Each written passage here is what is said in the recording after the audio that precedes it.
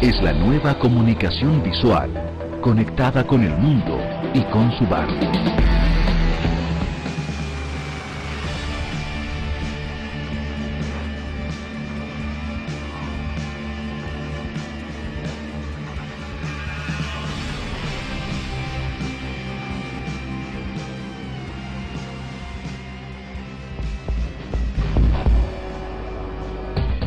Comunicar una idea a través del uso de gráficos y textos es la función principal del diseño gráfico. Y estos mensajes pueden transmitirse a través de muchos medios de comunicación, tanto impresos como digitales.